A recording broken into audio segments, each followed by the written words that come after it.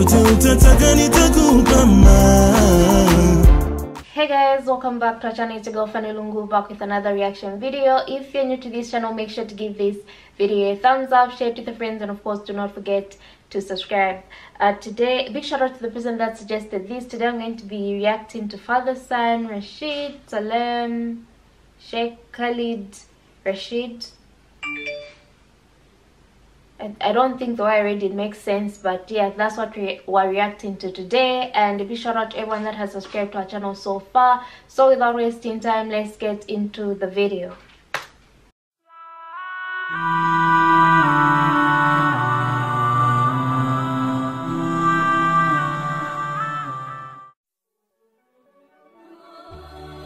يأتي على يديه يقول شاب لم أكن قد بلغت الثلاثين حين أنجبت زوجتي أول أبنائي. ما زلت أذكر تلك الليلة. كنت سهرانا مع الشلة في إحدى الشاليهات. كانت سهرة حمراء بمعنى الكلمة. كما يقولون أذكر ليلتها أني أضحكتهم كثيرا. كنت أمتلك موهبة عجيبة في التقليد. بإمكاني تغيير نبرة صوتي حتى تصبح قريبة من الشخص الذي أسخر منه. أجل كنت أسخر من هذا وذاك. لم يسلم أحد مني حتى شلتي. صار بعض أصحابي يتجنبني. كي يسلم من لساني وتعليقاتي اللاذعة تلك الليلة سخرت من رجل أعمى. رأيته يتسول في السوق. والأدهى أني وضعت قدمي أمامه ليتعثر. تعثر. فانطلقت ضحكتي التي دورت في السوق. عدت إلى بيتي متأخرا. وجدت زوجتي في انتظاري. كانت في حالة يرثى لها. أين كنت يا راشد؟ قلت في المريخ ساخرا عند أصحابي بالطبع كانت في حالة يرثى لها. قالت والعبرة تخنيقها راشد. أنا تعبة جدا. الظاهر أن موعد ولادتي صار وشيكا. سقطت دمعة صامتة على جبينها. أحسست أني أهملت زوجتي. كان المفروض أن أهتم بها. وأقلل من سهراتي خاصة أنها في شهرها التاسع. قاست زوجتي الآلام يوما وليلة في المستشفى حتى رأى طفلي النور لم أكن في المستشفى ساعتها. تركت رقم هاتف المنزل وخرجت. اتصلوا بي حتى تعلموني الخبر. ففعلوا. اتصلوا بي ليزفوا لي نبأ قدوم سالم. حين وصلت المستشفى طلب مني أن أراجع الطبيبة أي طبيبة؟ المهم الآن أن أرى ابني سالم. لا بد من مراجعة الطبيبة قالوا لي. أجابتني موظفة الاستقبال بحزن صدمت حين عرفت أن ابني به تشوه شديد في عينيه ومعاق في بصره. تذكرت المتسول؟ قلت سبحان الله كما تدين؟ تدان. لم تحزن زوجتي. كانت مؤمنة بقضاء الله راضية.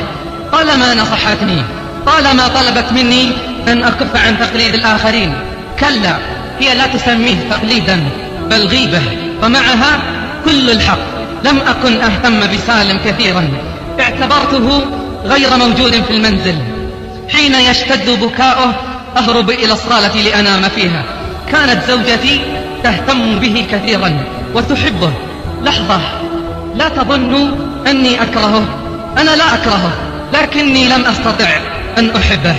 أقامت زوجتي احتفالا حين خطى خطواته الأولى وحين أكمل الثانية اكتشفنا أنه أعرج. كلما زدت ابتعادا عنه زادت زوجتي حبا وتعلقا بسالم حتى بعد أن أجبت عمرا وخالدا. مرت السنوات وكنت لاه غافل غرتني الدنيا وما فيها. كنت كاللعبة في يد رفقة السوق مع أني كنت أظن أني من يلعب عليهم. لم تيأس زوجتي من إصلاحي كانت دائما تدعو لي بالهداية. لم تغضب من تصرفاتي الطائشة أو إهمالي لسالم واهتمامي بباقي إخوته. كبر سالم ولم أمانع حين طلبت زوجتي تسجيله في أحد المدارس الخاصة بالمعاقين. لم أكن أحس بمرور السنوات أيامي سواء ليلي ونهار عمل ونوم طعام وسهر. حتى ذلك اليوم كان يوم الجمعة. استيقظت الساعة الحادية عشرة ظهرا ما يزال الوقت مبكرا أقول لكن لا يهم. أخذت دشا سريعا. لبست وتعطرت وهممت بالخروج. استوقفني منظرة. منظر سالم. كان يبكي بحرقة. إنها المرة الأولى التي أرى فيها سالم يبكي مذ كان طفلا أأخرج؟ أم أرى مما يشكو سالم؟ قلت لا. كيف أتركه وهو في هذه الحالة؟ أهو الفضول أم الشفقة؟ لا يهم. سألته لماذا تبكي يا سالم؟ حين سمع صوتي توقف بدأ يتحسس ما حوله. ما به يا ترى؟ اكتشف أن ابني يهرب مني. الآن أحسست به. أين كنت منذ عشر سنوات؟ تبعته. كان قد دخل غرفته. رفض أن يخبرني في البداية سبب بكائه وتحت إصراري عرفت السبب. تأخر عليه شقيقه عمر الذي اعتاد أن يوصله إلى المسجد. اليوم الجمعة خاف سالم ألا يجد مكانا في الصف الأول. نادى والدته لكن لا مجيب حينها. حينها وضعت يدي على فمه كأني أطلب منه أن يكف عن حديثه. وأكملت حينما بكيت يا سالم لا أعلم ما الذي دفعني لأقول له سالم لا تحزن. هل تعلم من سيرافقك اليوم إلى المسجد؟ أجاب سالم أكيد عمر. ليتني أعلم. إلى أين ذهب؟ قلت لا يا سالم أنا من سيرافقك. أنا من سيرافقك. استغرب سالم لم يصدق ظن أني أسخر منه. عاد إلى بكائه. مسحت دموعه بيدي وأمسكت بيده. أردت أن أوصله بالسيارة. رفض قائلا أبي المسجد قريب. أريد أن أخطو إلى المسجد فإني أحتسب كل خطوة أخطوها. يقول لا أذكر متى آخر مرة دخلت فيها المسجد. ولا أذكر آخر مرة سجدت فيها لله سجدة. هي المرة الأولى التي أشعر فيها بالخوف والندم. الندم على ما فرطت طوال السنوات الماضية مع أن المسجد كان مليئا بالمصلين إلا أني وجدت لسالم مكانا في الصف الأول. استمعنا لخطبة الجمعة معا وصليت بجانبه بعد انتهاء الصلاة طلب مني سالم مصحفا. استغربت كيف سيقرأ وهو أعمى؟ هذا ما تردد في نفسي ولم أصرح به خوفا من جرح مشاعره. طلب مني أن أفتح له المصحف على صورة الكهف.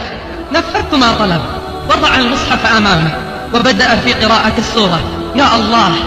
إنه يحفظ سورة الكهف كاملة وعن ظهر غيب. خجلت من نفسي. أمسكت مصحفا أحسست برعشة في أوصالي. قرأت وقرأت ودعوت الله أن يغفر لي ويهديني. هذه المرة أنا الذي بكى بكيت حزنا وندما على ما فرط ولم أشعر إلا بيد حنونة تمسح عني دموعي. لقد كان سالم يمسح دموعي ويهدئ من خاطري. عدنا إلى المنزل. كانت زوجتي قلقة كثيرا على سالم لكن قلقها تحول إلى دموع فرح حين علمت أني صليت الجمعة مع سالم. منذ ذلك اليوم لم تفتني صلاة الجماعة في المسجد. هجرت رفقاء السوء وأصبحت إلى رفقة خيرة عرفتها في المسجد. ذقت طعم الإيمان عرفت منهم أشياء ألهتني عن الدنيا. لم أفوت حلقة ذكر أو قيام. ختمت القرآن عدة مرات في شهر وأنا نفس الشخص الذي هجره سنوات. قطرت لساني بالذكر لعل الله يغفر لي غيبتي وسخريتي من الناس. أحسست أني أكثر قربا من أسرتي.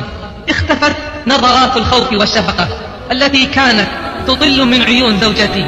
الابتسامة ما عادت تفارق وجه ابني سالم. من يرى سالم يظنه ملك الدنيا وما فيها. حمدت الله كثيرا وصليت له كثيرا على نعمه. ذات يوم قررت أنا وأصحابي أن نتجه إلى أحد المناطق البعيدة في برامج دعوية مع مؤسسة خيرية. ترددت في الذهاب. استخرت الله واستشرت زوجتي. توقعت أن ترفض لكن حدث العكس. فرحت كثيرا بل شجعتني. حين أخبرت سالم عزمي على الذهاب أحاط جسمي بذراعيه الصغيرين فرحا. ووالله لو كان طويل القامة مثلي لما توانى عن تقبيل رأسي. بعدها توكلت على الله وقدمت طلب إجازة مفتوحة بدون مرتب. والحمد لله جاءت الموافقة بسرعة. أسرع مما تصور. تغيبت عن البيت ثلاثة أشهر. كنت خلال تلك الفترة أتصل كلما سنحت لي الفرصة بزوجتي. أحدث أبنائي. لقد اشتقت لهم كثيرا لكني اشتقت أكثر لسالم. تمنيت سماع صوته. هو الوحيد الذي لم يحدثني منذ سافر إما أن يكون في المدرسة أو المسجد ساعة اتصالي بهم. كلما أحدث زوجتي أطلب منها أن تبلغه سلامي وتقبله. كانت تضحك حين تسمعني أقول هذا الكلام. إلا آخر مرة هاتفتها فيها. لم أسمع ضحكتها المتوقعة. تغير صوتها وقالت لي إن شاء الله. أخيرا عدت إلى المنزل. طرقت الباب. تمنيت أن يفتح سالم لي الباب. لكن فوجئت بابني خالد الذي لم يتجاوز الرابعة من عمره. حملته بين ذراعي وهو يصيح بابا بابا انقبض صدري. حين دخلت البيت استعذت بالله من الشيطان الرجيم. سعدت زوجتي بقدومي. لكن هناك شيء قد تغير فيها. تأملتها جيدا. إنها نظرات الحزن التي ما كانت تفارقها. عادت مرة ثانية إلى عينيها. سألتها ما بك؟ قالت لا شيء. هكذا ردت. فجأة تذكرت من نسيته للحظات. قلت لها أين سالم؟ خفضت رأسها ولم تجب. لم أسمع حينها سوى صوت ابني خالد. الذي ما زال يرن في أذني حتى هذه اللحظة. قال أبي إن سالم راح عند الله في الجنة.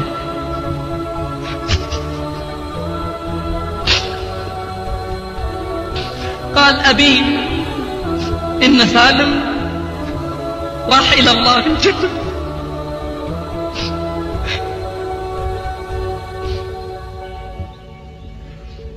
لم تتمالك زوجتي الموقف. أجهشت في البكاء. وخرجت من الغرفة. عرفت بعدها أن سالمة أصابته الحمى قبل موعد مجيئي بأسبوعين. أخذته زوجتي إلى المستشفى. لازمته يومين وبعد ذلك فارقته الحمى حين فارقت روحه الجسد. أحسست أن ما حدث ابتلاء واختبار من الله. أحسست أن ما حدث ابتلاء واختبار من الله سبحانه وتعالى. أحس بيده تمسح دموعي. وذراعه تحيطني كم حزنت على سالم الأعمى الأعرج. لم يكن أعمى. لم يكن أعمى. أنا من كنت أعمى. حين أنسقت وراء رفقة السوء. ولم يكن سالم أعرج. لأنه استطاع أن يسلك طريق الإيمان رغم كل شيء. لا زلت أتذكر كلماته وهو يقول إن الله ذو رحمة واسعة. سالم الذي امتنعت يوما عن حبه اكتشفت أني أحبه أكثر من إخوانه. بكيت كثيرا وما زلت حزينا. كيف لا أحزن؟ وقد كانت هدايتي على يديه. كيف لا أحزن؟ وقد كانت هدايتي على يديه اللهم تقبل سالم برحمتك. اللهم إنا نسألك الثبات.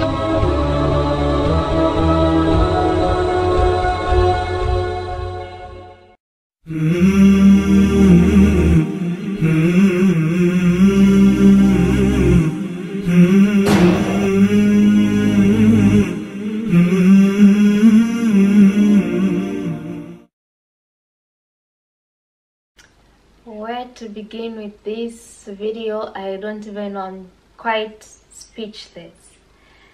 This is a very very very sad story to even come across and it should teach us something. Sometimes we take things for granted. Sometimes we take um, we play around too much. We're making fun of the vulnerable. We're making fun of someone who's poor.